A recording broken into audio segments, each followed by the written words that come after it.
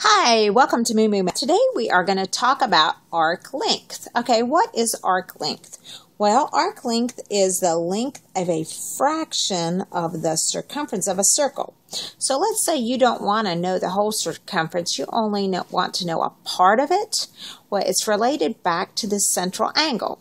So what we have to do is we need to know the central angle, and that angle can be measured in two different ways. It can be measured in radians or degrees. So the first way we're going to look at it is in terms of radians. So this is the formula you use for radians. So to find the arc length S, you have to multiply the radius times the angle in radians. So here's our formula where S is the arc length, theta is our central angle, and r is our radius. So now let's use that formula in this problem. If an arc length measures 4 pi, so that means this part. So the fraction of the circle is only 4 pi um, inches long with a central angle of pi thirds. Now this is uh, in radian measure, so our angle is pi over 3 find the length of the radius. So we're just going to plug it into this formula. So we're going to take 4 pi, plug it in for s. We're going to take pi thirds, plug it in for our angle, and we're going to solve for r. So we're going to plug in 4 pi equals r times pi thirds. Okay, so the first thing we need to do is get rid of this fraction. So let's multiply both sides by 3. So multiply this side by 3 and this side by 3, and our 3 is gone. So we get, on the left, 12 pi equals r times pi. Now we need to get rid of the pi, so let's divide both sides by pi to get rid of the pi. So we have 12 is equal to r. So guess what? Our radius is 12. It's as simple as that in terms of radians. Now, let's look at the same problem, same type of problem, but this time we're going to look at it in terms of degrees. So find the radius of a circle given an arc length in degrees this time.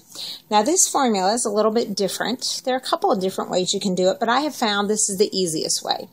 What you want to do is you want to set up a, a proportion where you take the measure of the central angle, the measure of whatever this central angle is, over the measure or the degrees in a circle, which is 360 whole thing, and that is equal to the same proportion as the arc length is, so the fraction is to the entire circumference of the circle. So 360 is the entire circumference, and this fraction of the arc, the measure of the arc is equal to the fraction of the circumference. So it kind of makes sense. So now let's look at this in practice. Okay, Given the arc length of 8 pi and a central angle of 120 degrees, find the radius. So let's just plug it into our formula. Okay, we have 120 degrees, so that is going to be our measure.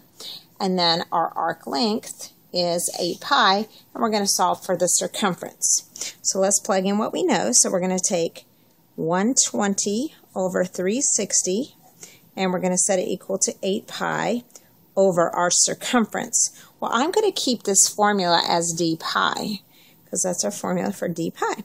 Okay, now it's pretty easy. I actually like to reduce this fraction if we can. And we can. 120 out of 360 is 1 third. It just simplifies to a third. And that's 8 pi over d pi. Now, what else can we simplify? Well, you can see the pi's will just cancel out because pi over pi is 1. So we have 1 third is equal to 8 over d. Now this is a proportion. Easiest way to solve a proportion is just cross multiply.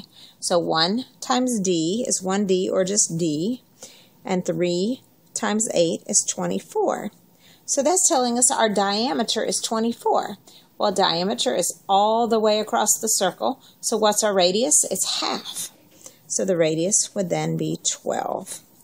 And that's how you use the arc length formula in terms of degrees. Hope this video was helpful to finding arc length and radius.